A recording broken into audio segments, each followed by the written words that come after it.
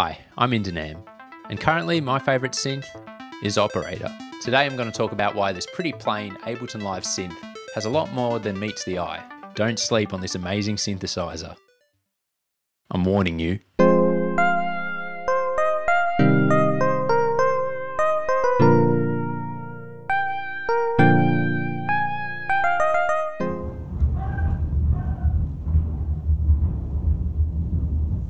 Firstly, the FM engine. Now, I personally find FM the most exciting and inspiring form of synthesis. After two years since I first understood the basics of frequency modulation, I still don't think I fully understand all the nuanced techniques of it, which is good. I always feel like there's a new combination of parameters to experiment with if I'm feeling adventurous with my sound design. If you've had a grasp on subtractive analog style synthesis for a while, I highly recommend diving into FM. You can make 50 times more of a variety of sounds, and the basic principles aren't as hard as you might think to learn. And trust me, FM isn't just good for 80 sounds, you can make almost any synth sound you can think of with it, as well as many quite realistic sounds with enough experimentation.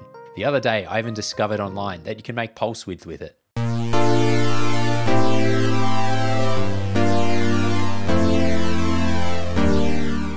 Operator has only four oscillators, but don't let that fool you.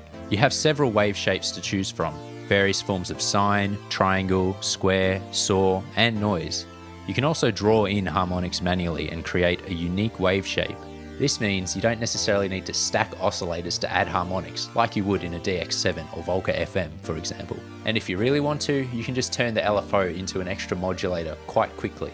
The oscillator controls are laid out super efficiently. All oscillators' pitch and volume controls are always accessible for quick tonal balancing. On each oscillator page, the envelope is front and center, and each point can be dragged around smoothly. Finally, the more nuanced controls that you don't usually change on the fly are nicely sorted underneath. Once you start playing around with some of these controls, you'll come to recognize the phenomenal amount of expressiveness that you can squeeze out of this synth. It's awesome. Over to the right side of the synth, we have the LFO, filter, and auxiliary envelope. All of these have almost identical envelope controls to the oscillators, so they don't always have to feel static. The LFO and aux envelope are mapped to pitch by default, but you can change them to target other parameters. You can even loop the aux envelope to basically turn it into an LFO. The filter has plenty of options for sculpting and adding character to your sound, with changeable filter type, circuit type, as well as a wave shaper for added grit.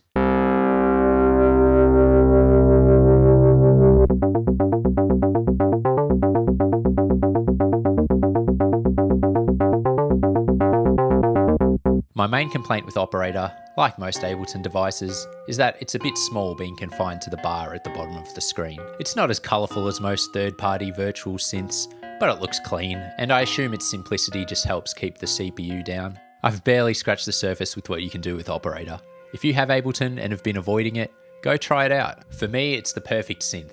There's endless possibilities, unique methods of modulation, and the rewarding challenge of it all. While wavetable synths seem to be a modern standard for a workhorse virtual instrument, there's something about Operator's FM engine and unique choice of features that keep it exciting for me.